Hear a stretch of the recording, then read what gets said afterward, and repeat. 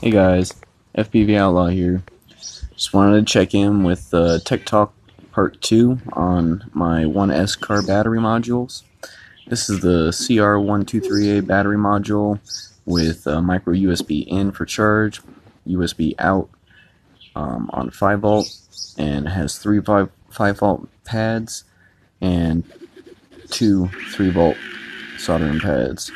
Um, I ended up soldering the 5 volt step up from 3 volt 3 volt 5 volt to 5 volt um, using this regulator that's on the module. You can see it between the car and the module itself. There will be pictures here shortly. Um, go ahead and just check all this out take a look. Everything's accessible. The switch for the the module is accessible. The USB ports, micro USB port charge in is accessible with the canopy. Everything's accessible with the canopy on once it's all put together.